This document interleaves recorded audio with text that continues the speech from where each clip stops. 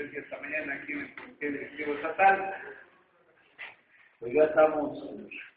terminando, estamos en el último mes del año. ¿Qué creen? Estamos en elecciones. Entonces, pues, es muy, muy raro lo que sucede en Tlaxcala. No es raro, es preocupante que tengamos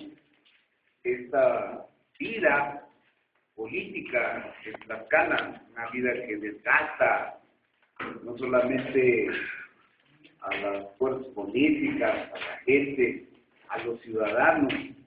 sino que también detiene progreso, el desarrollo de, de nuestro Estado, porque todo se centra,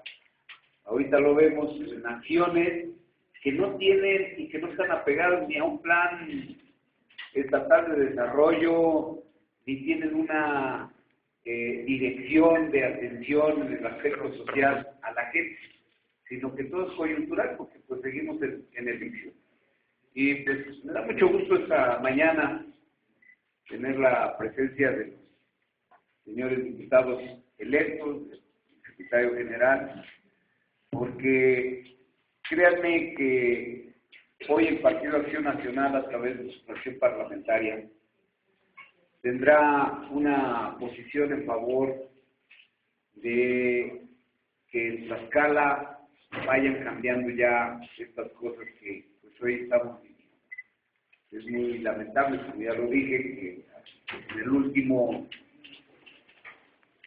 mes del año, y no sé todavía por lo que pudiera suceder en el caso de Guamantla, y también todavía de lo que pueda suceder postelectoralmente de estas, de estas elecciones extraordinarias, porque pues yo estoy seguro que sí se va a ir a los tribunales. Ya hay algunas resoluciones, el caso, por ejemplo, de nuestro candidato Valentín, que pues ya desecharon, ya queda aceptado el registro, que había ahí una impugnación contra el registro de Valentín, y pues ya la sala eh, aquí de Tlaxcala ha desechado las impugnaciones del PRD, las otras se acumularon, pero creemos que van a ir en, el mismo sentido, entonces queda,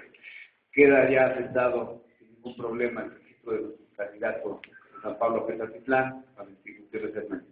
Pero ese no es el tema, el tema del día de hoy es eh, pues ya esta recta final en términos de, de,